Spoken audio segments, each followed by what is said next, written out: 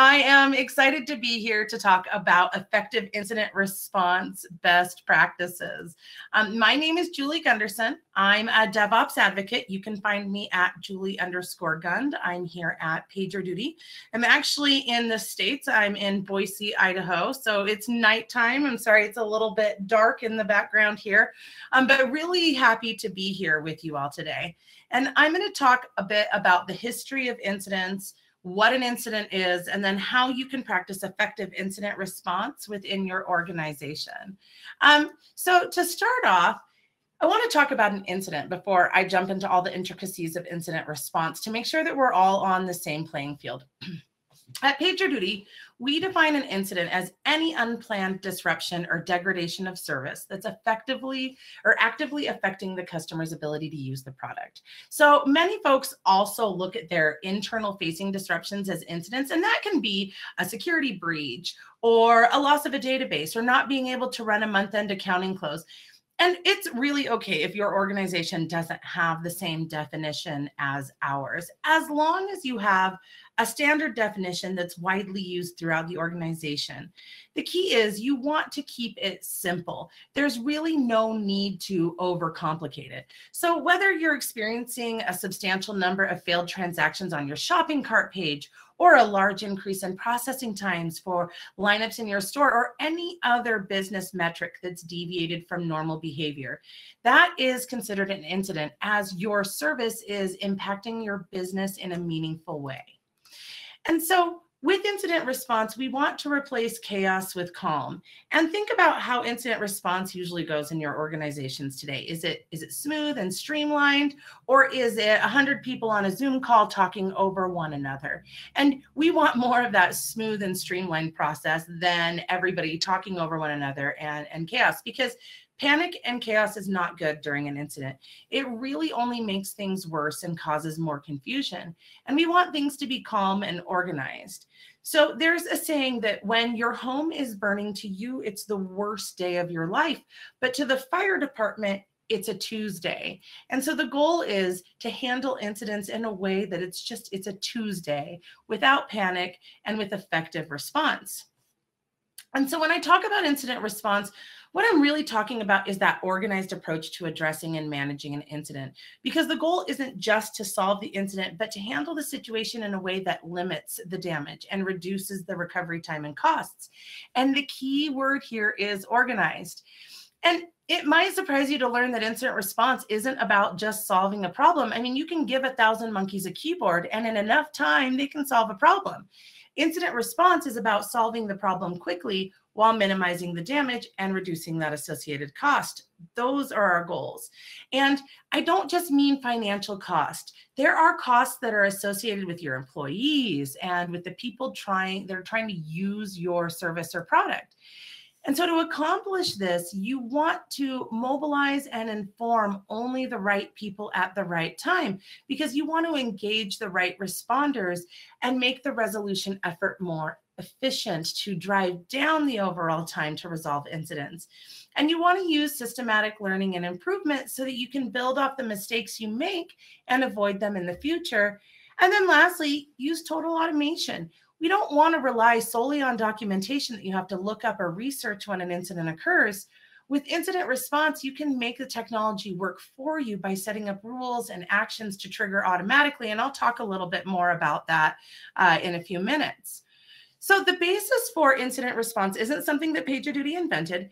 It's actually heavily based on the Incident Command System, or ICS for short, that was developed after devastating wildfires in Southern California in the 70s. So what happened is thousands of firefighters responded, but they found it difficult to work together because they knew how to fight fires individually, but they lacked the common framework to work as a larger group. And so after the fires, there were some agencies created and there were systems that were developed to manage wildland fires. And one of those became known as the, the Incident Command System. And then that became the national model for command structures for any major incidents. And that's used everywhere from local fire departments responding to a house fire to the US government responding to a natural disaster because it provides a standardized response that everyone is familiar with. And that's the reason the system is used to this day to help emergency personnel have that standardized response. And so when we talk about incidents within our businesses, it's the same thing. It's an emergency within the business, and we want that organized response. And so an incident is that serious or unexpected event that requires immediate attention or action. Incidents aren't generally planned unless you're doing some form of chaos engineering, and that's a whole different conversation. So that's the reason that this incident response has been so successful is because we've iterated on it over time and we continue to do so. So we've used the basis of having an organized approach to respond to an emergency, and then we've tailored it to our needs, creating a consistent and unified approach to responding to incidents. So now that I've talked all about incidents, I haven't really talked about major incidents yet. And it's because it really varies between each organization. So at PagerDuty, our description of a major incident is any incident that requires a coordinated response between multiple teams.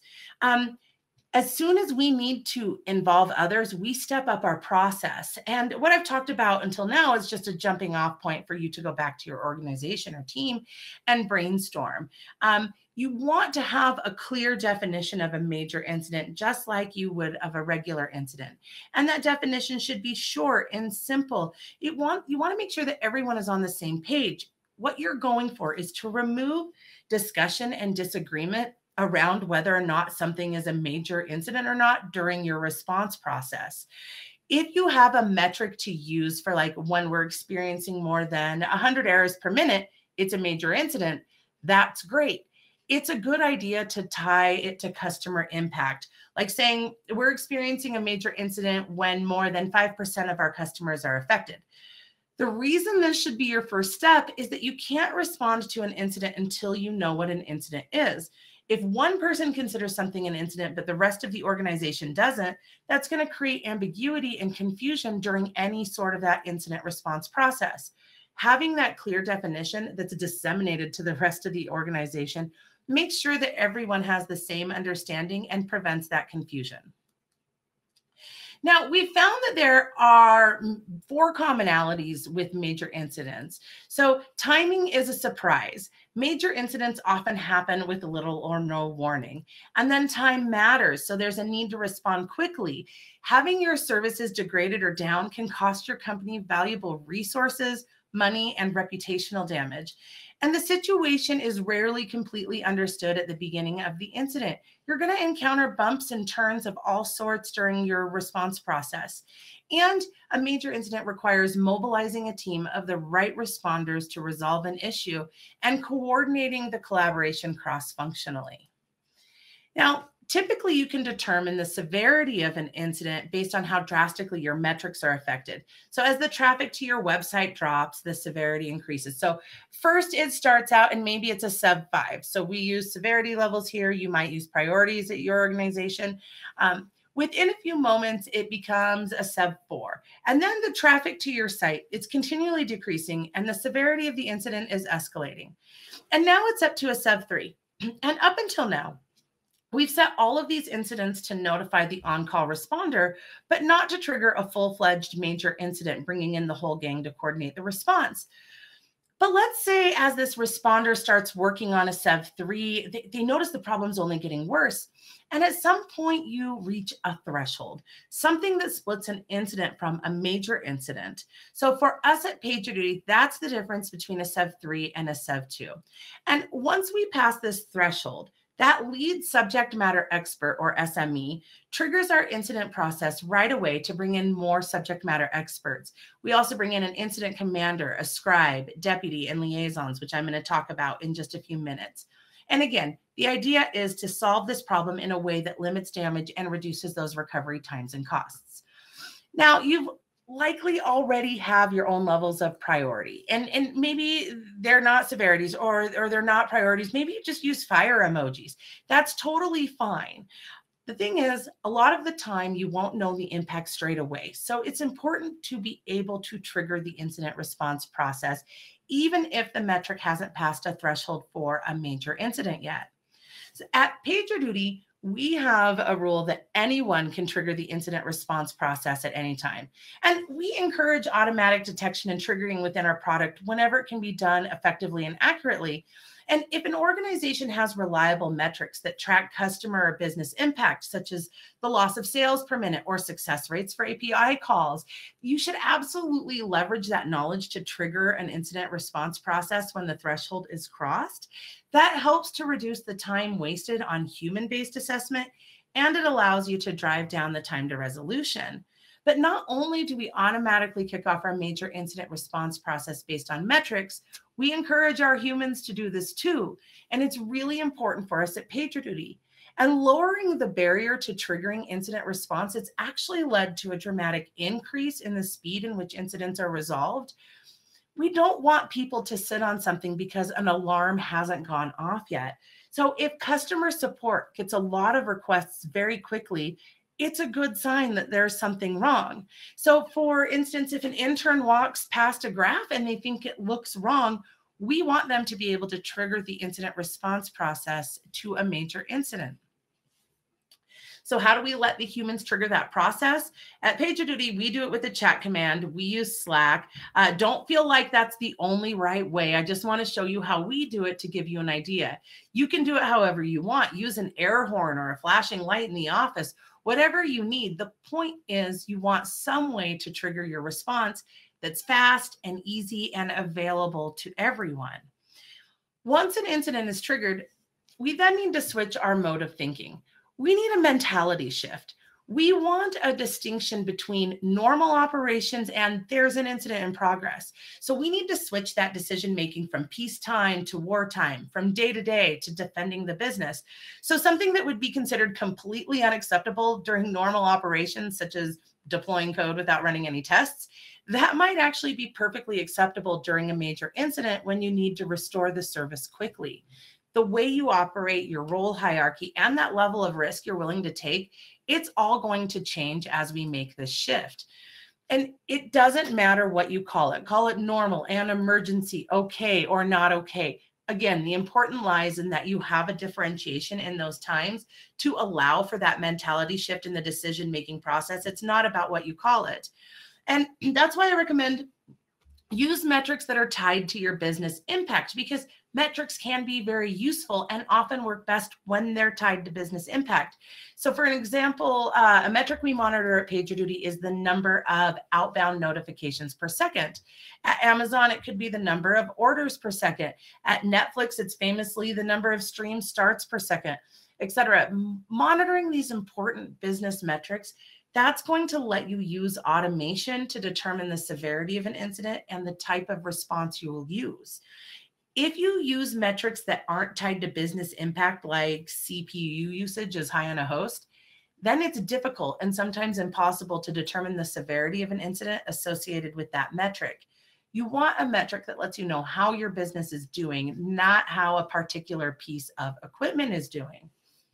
During this mentality shift into emergency or wartime or not okay, your role hierarchy and the level of risk you're willing to take it's going to change the responding teams need to have the ability to make decisions on their own to try to reduce the impact so think of it as trying to reduce the spread of a fire if you sit there and decide and try to weigh your options and you can't make a decision, the barn will be burnt down before you know it. So, in this sense, taking no action during a time of emergency, it is an action. And we call that decision paralysis making the wrong decision is better than making no decision because a wrong decision gives you more useful information to work with while making no decision it, it gives you nothing and so I want to talk a little bit about the people and the roles um, and incident categorization.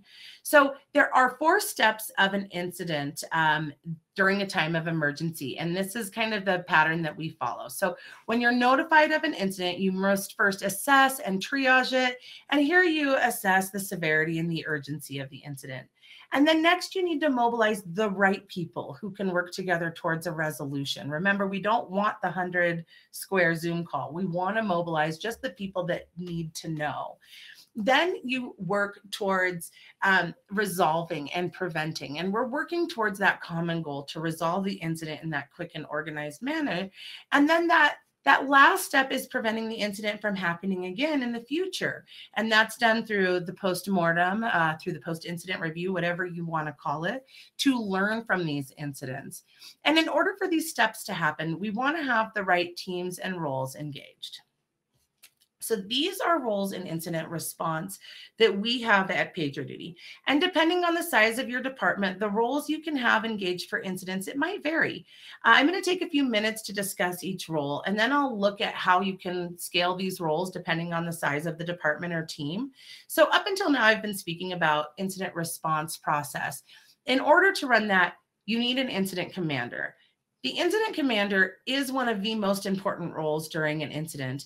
In fact, they're actually the highest ranked person on the incident response call. They're ranked higher than the CEO. They're the single source of truth during the incident. They're the ones in charge. They make all the decisions, and no action should be performed unless the incident commander gives the go ahead. They're needed to help drive major incidents to resolution and help to coordinate the response. And the best part is they actually don't have to have deep technical knowledge. And I'll talk a little bit more of that in a, in a bit. Next up, we have the scribe. And the scribe is present during the response to document the timeline of the incident as it progresses. And they make sure that all important decisions and data are captured for later review. So you can use many different ways to record the incident response process, such as a shared document or a communication tool. At PagerDuty, we use Slack to keep an internal record of major incidents. The scribe posts in an incident response specific uh, public internal channel to record the live progress of the incident. And then this way we have a solid history of what was discussed and the decisions that were made. And anyone in the company can go in and read it for a status update if they'd like. So if you have Slack, I'd recommend that you have an incident response channel set up for your department or team. And you can keep it open and ongoing each time there is an incident. And that way, when one occurs, you're not frantically searching for that Slack channel. Now, within the command staff, we also have the deputy, and they're a direct support role for the incident commander. It's not a shadow where the person just observes. The deputy is expected to perform important tasks during an incident. Depending on the size of your company or the size of the incident, the deputy can also be there to support the incident commander to help keep them focused on the issue at hand. They can act as a scribe if necessary. They can also act as um, internal liaisons for the specific incident which brings me then to the liaisons. Depending on the severity of the incident and the size of the department, uh, we recommend having both an internal and an external liaison. The liaisons are responsible for communicating with both the company and the external parties and customers what the impact of this incident is. So at PagerDuty, we use statuspage.io to keep the customers informed if they're handling an incident that causes a degradation of services. This is a great way to keep our customers up to date in real time. And then moving on to the operations section, when an incident occurs, that on-call responder, that SME, they're paged first without alerting the rest of the team so that they can assess the incident and decide whether or not they can resolve it on their own or if the impact is too large scale for them to solve on their own. And one of the things we say here a lot is never hesitate to escalate. So I just want to reiterate that as that initial responder, if you feel the need to escalate, do it. We don't want to waste the time debating whether or not we should escalate. And if that impact is too great and a larger amount of subject matter experts are needed, that primary on-call responder is going to page the on-call incident commander to begin the incident response process. And then that will bring in additional subject matter experts into that call. And keep in mind, this chart number of rows ro roles, it's going to shrink or grow eh, depending on the size of your company and your team. I mean, I've seen some that are so vast that they take up multiple pages where you need a legend to navigate them. And we've seen some that are quite small and precise. So you don't have to follow this exactly. This is just how we do it at PagerDuty. So when we want to set this up at scale to your department, maybe you have six or eight different teams or squads. This will change the number that you have engaged and it can scale either way. So in a department that maybe has five teams, you'll want to make sure that you have a few things set up to begin with. You want to have that on-call schedule uh, for the incident commander. And remember, that is actually team agnostic. As I said, they don't have to have deep technical knowledge. You also want to have on-call schedules for the primary and backup subject matter experts Depending on the impact of your department, you can also maybe have your marketing, your support, or legal on rotations as well. And then you want to have a method of paging out to other team members to mobilize them. And so, a typical sequence of events for an incident when most incidents first occur, as I mentioned, the on call responder is paged due to the automatic detection of a problem. And in most cases, they'll acknowledge and resolve the issue before it turns into a major incident.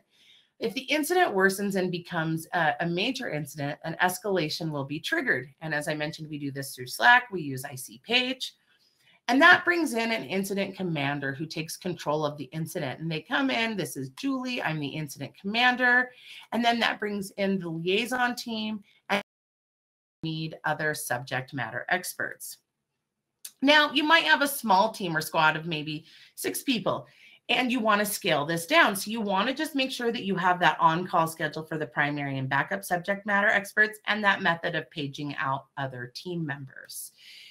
Now, when you look at a team of six people and you want to look at how you're going to implement this, like I mentioned, you have a primary and backup SME during this process. Um, so during this time, both the primary and the backup on call work together to resolve the incident.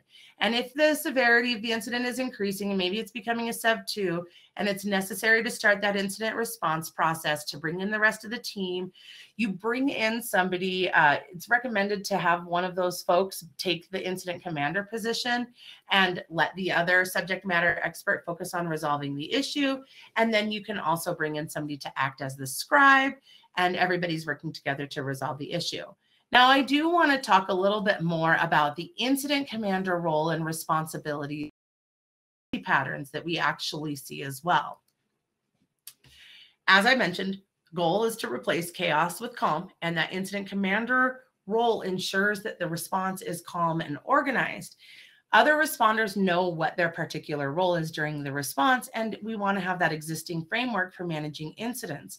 So remember, the firefighter analogy that I used earlier for you, it's the worst day of your life. For firefighters, it's a Tuesday. And that goes back to the goal of replacing chaos uh, with calm. And as I mentioned, the incident commander is that most important role. Um, even if you don't have a deputy or a scribe or a customer liaison, the incident commander is the one you should get first obviously after the subject matter expert, of course. They're the single source of truth during the incident. They're the ones in charge. They're higher ranked than the CEO. They make the decisions, and no action should be performed unless they give the go ahead. Once we've made a decision, we need to gain consensus for our plan. And even though I just said that the incident commander is basically a dictator and everybody should follow their instructions, that's true. But we also don't want people to come back later and say things like, well, I knew that wouldn't work we want to stop that hindsight 2020 problem because it unmotivates responders and it wastes time. But gaining consensus amongst a large group of people can be a bit difficult.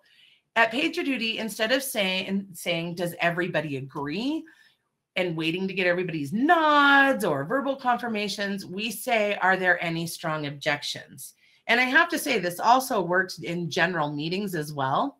If no one speaks up, you can implicitly get the consensus of everyone in the room and quickly move on, you know, hearing no objections. Um, that being said, do make sure to leave enough of a pause for people to raise any objections that they may have. It's not really any good asking for strong objections and then moving on immediately. At PagerDuty, we like to have the seven second rule where you count to yourself quietly for seven seconds and then hearing no objections, moving on. Once we have a collection of actions and their associated risks, it's now time to make a decision. Sometimes there's an obvious path forward, with one option being clearer and better, but sometimes you're presented with two equally bad options. And there's really no golden rule I can give you here. It's going to be up to the context of your company culture. My advice is if you can't decide, literally just flip a coin. Making that wrong decision, as I mentioned earlier, is better than making no decision because no decision doesn't help any forward progress. You learn nothing new and the incident is still ongoing. Making a decision, even if it's the wrong one, is going to give you more information. And if it turns out to be wrong, you can put all of your resources into the other option. A wrong decision at least gives you more useful information, and making no decision gives you nothing. And we want to avoid that decision paralysis at all costs, as it can prolong your incident further. Next, you want to assign tasks to a specific person. And it's okay to assign tasks to a role like DBA on call, for example, but it must be a single individual. Assigning things to a group is a great way to make sure it doesn't get done. And what we're trying to do is avoid the bystander effect here, where we say, okay, can someone do X or Y? Folks either assume that somebody else has it covered or they just maybe don't want to do it, so they don't. And that aligns well with the incident commander's duty to coordinate and delegate rather than trying to resolve the issues. So, for example, in CPR training, if you're in a mall, a crowded mall, and somebody's having a heart attack, you don't just say, someone call 911. You either point to somebody specific in the crowd and say, you call 911, or call somebody out by name, say, Tim, call 911. The point is, you want to assign that to a specific person, otherwise, it won't get done. And I've said it over and over the incident commander is the highest authority, no matter what their day to day role is. An incident commander outranks the CEO. And if a CEO joins, the incident commander outranks them. And the important thing here is that that information is disseminated through your organization and that leadership has buy in because you don't want a CEO finding out that they're outranked on a call during an incident call. And it's critical for success in incident response that the executives buy into this. And whether this works for you, it's going to depend on your organization. So, this is how we do it at PagerDuty, and it works well for us, but I can imagine it can't always be 100% easy to get this sort of buy in in other organizations. Importantly, about the incident commander is they're not actually working to resolve the incident. They're coordinating and delegating all the tasks. They shouldn't be looking at logs or graphs or logging into servers. They're there to help coordinate and delegate on the call.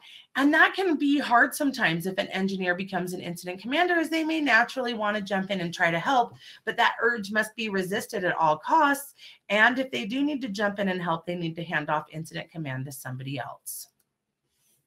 As I mentioned before, for incident commanders, deep technical knowledge it actually isn't required. So we used to require that all of our incident commanders were experienced engineers with deep technical knowledge of all of the PagerDuty systems, and it was actually one of our bigger mistakes. Remember, the incident commanders aren't responders. They aren't the ones actually fixing the problem, so they don't need deep technical knowledge. However, there should be a basic understanding of the organizational foundation. So if someone's new to PagerDuty and they don't uh, know what PagerDuty notifications are, that could be an issue.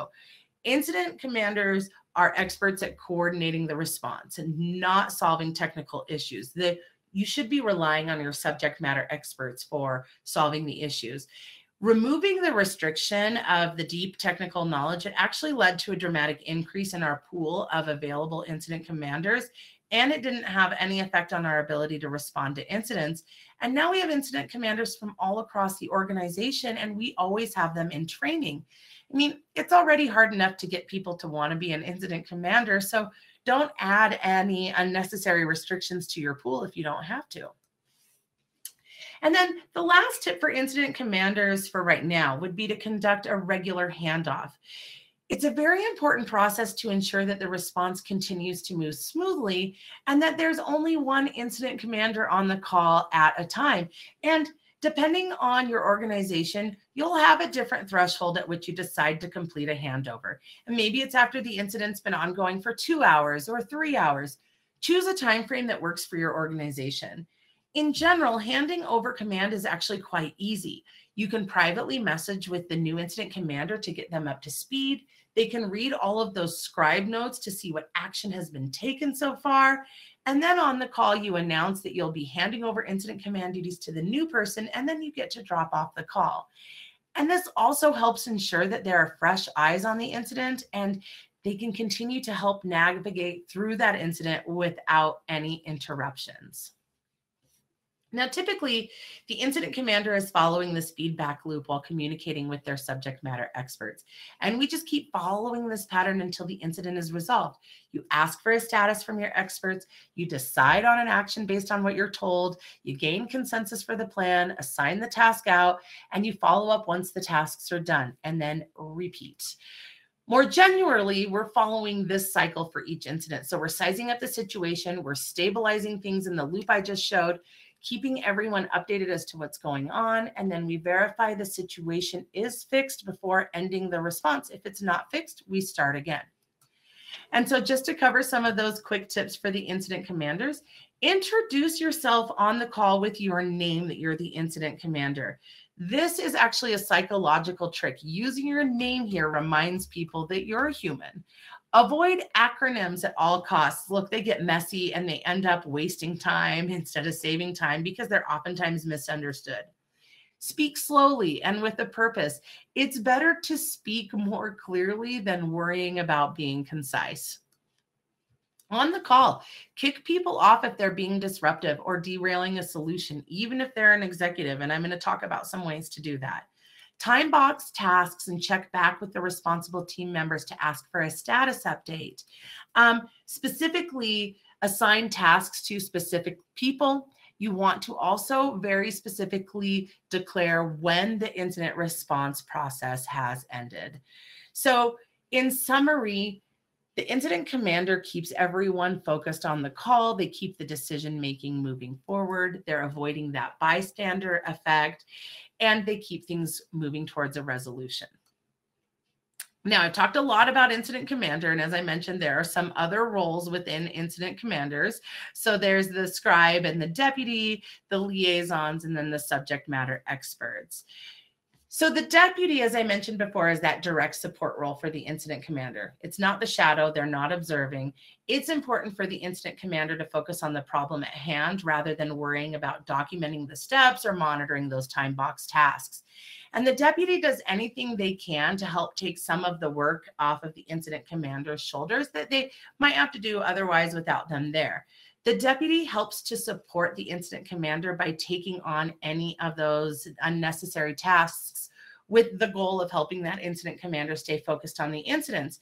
And some examples of this may be keeping time for assigned tasks or circling back to missed items, paging in other responders to join the incident call, or doing non technical investigative work based on the incident commander's input. They also are basically a hot standby for the incident commander should the primary either need to transition to that subject matter experts or otherwise have to step away from that incident command role.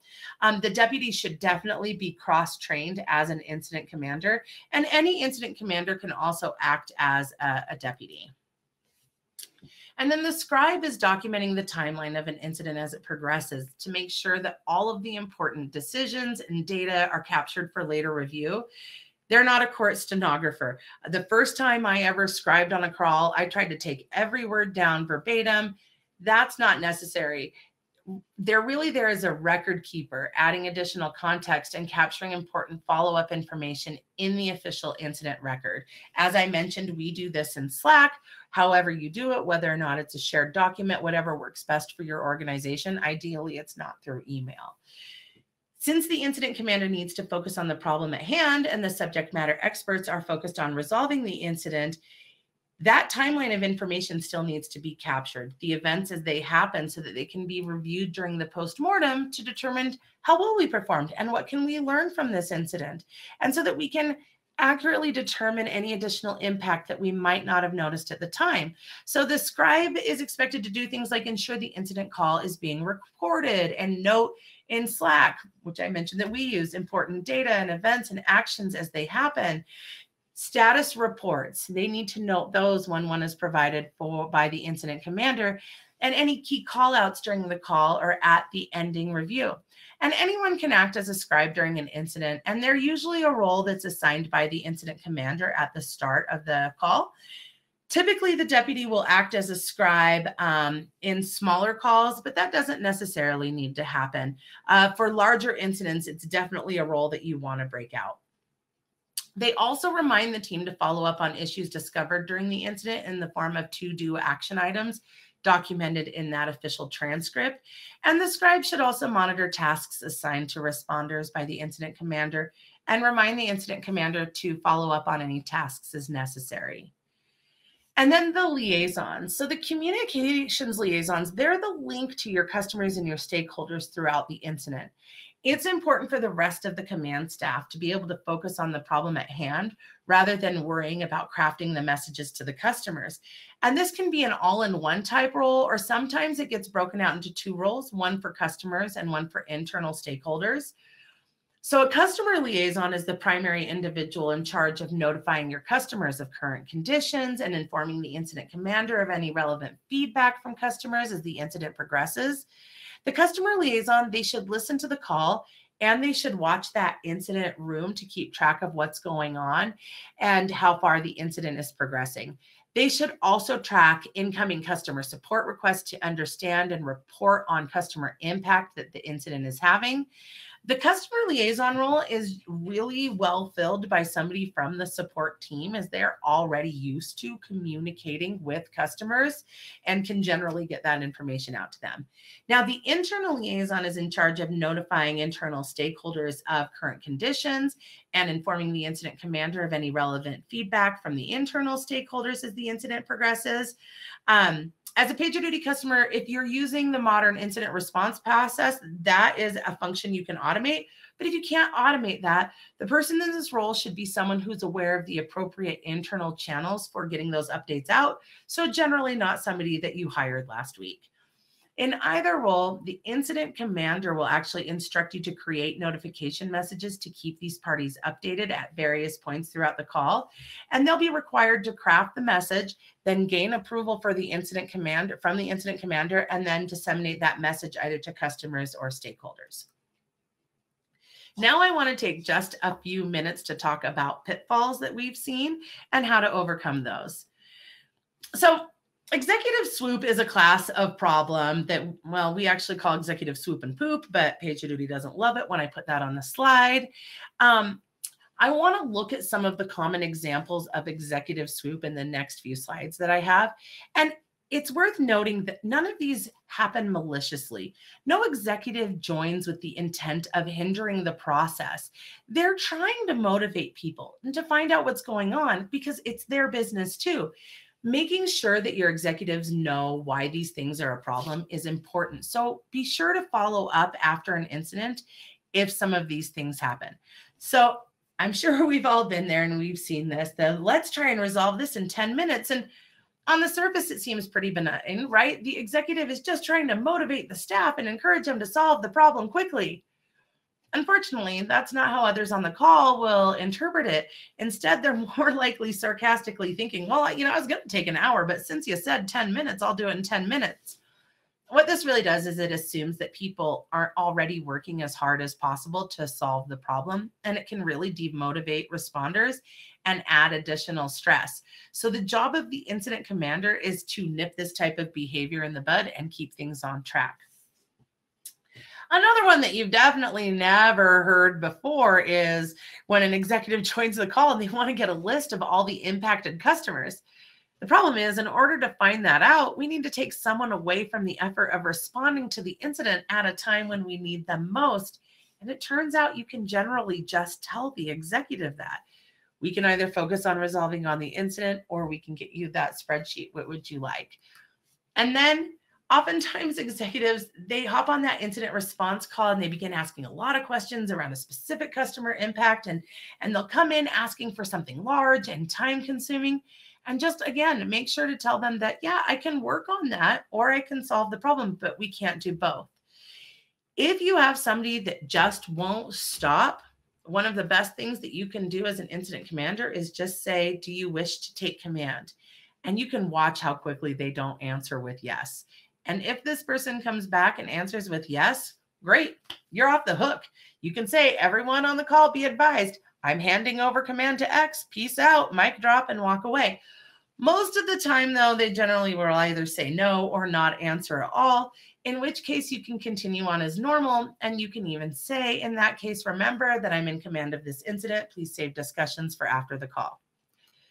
The reason that we see this class of problem is failing to keep these stakeholders informed you want to keep stakeholders informed on a, the regular cadence because transparency is key. It helps make sure that people don't feel the need to join that call. And it allows your stakeholders to field questions from customers so that the team isn't interrupted because you're giving the organization confidence that the situation is under control. Now, other issues that we see are too frequent status updates. Some organizations, they want status updates out every five minutes, but too many status updates, they waste time and they're usually unnecessary. At PagerDuty, we keep our internal updates to once every 30 minutes or immediately when a change occurs, which you know generally is improvement or resolution.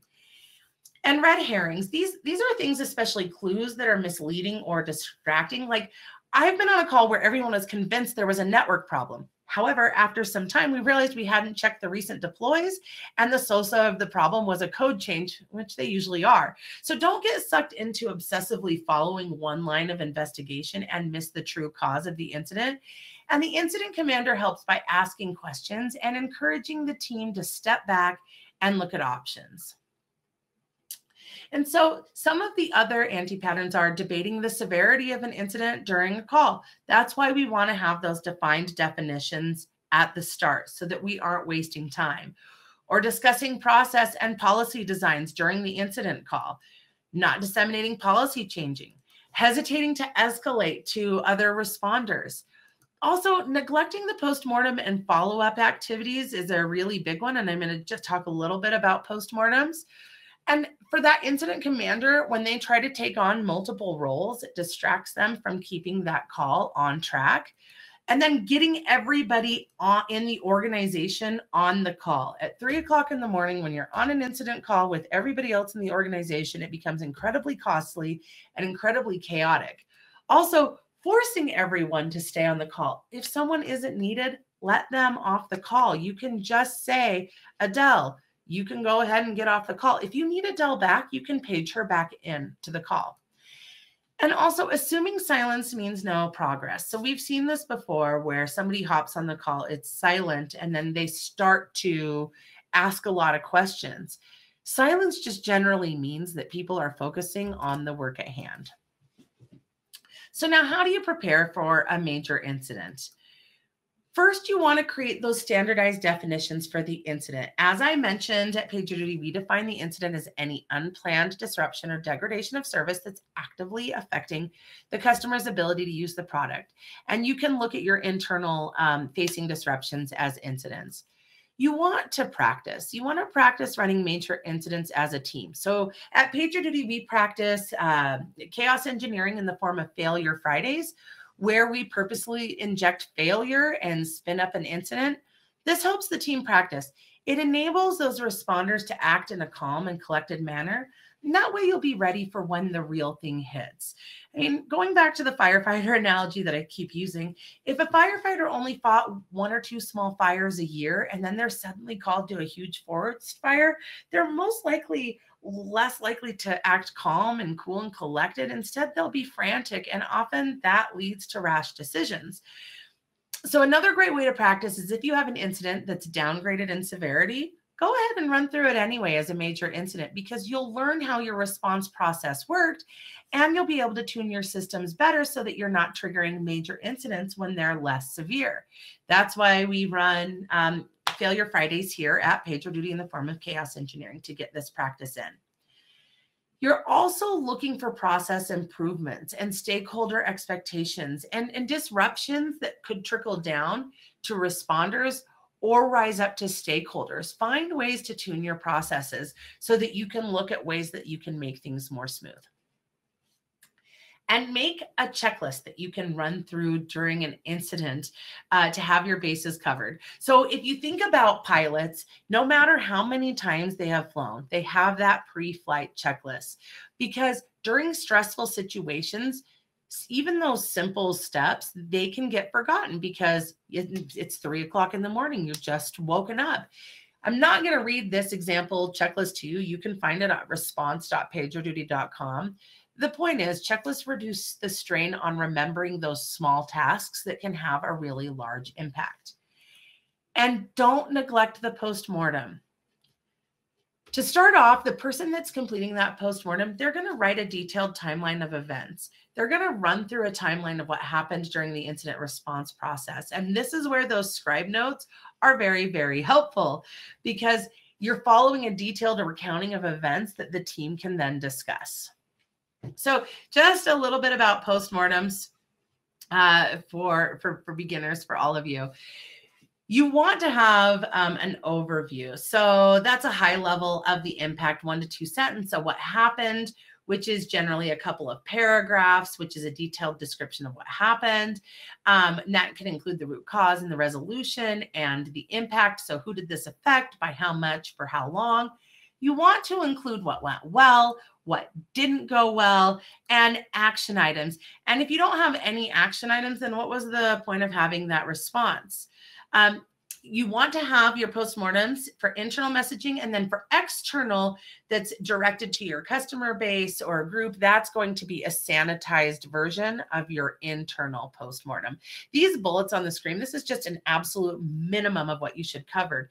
And if you're not accustomed to performing postmortems you can definitely read postmortems.pagerduty.com where we talk about blameless postmortems and things that you should include in those and then I'm not going to read this slide to you, but here's a more detailed look at what you can include in your postmortems.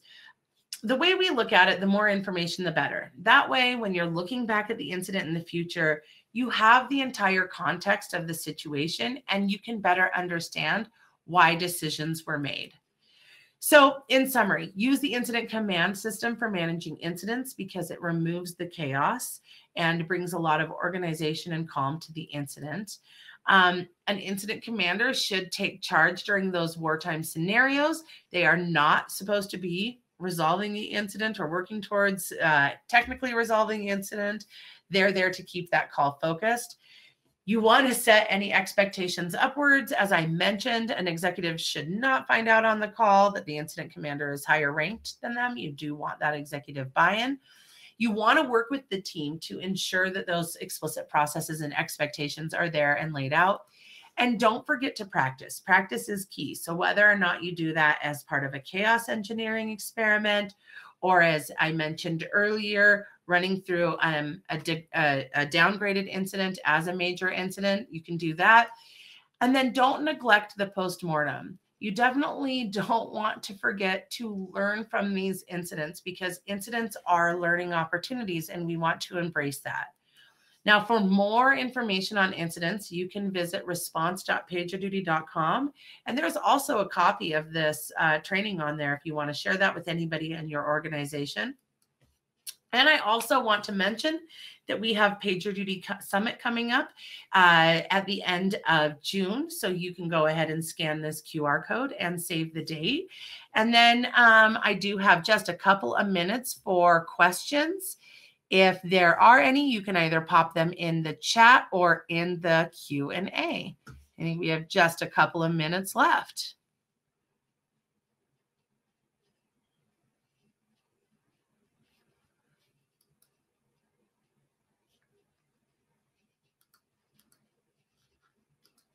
And as I'm looking in the chat, apparently, don't forget to swing by the PagerDuty booth because you can win an iPhone 12, which is also very important. Um, you can also hit me up on Twitter at Julie underscore Gund. And you can also reach out to us in the community forums at community.pagerduty.com if you have any other questions or want to follow up with anything there.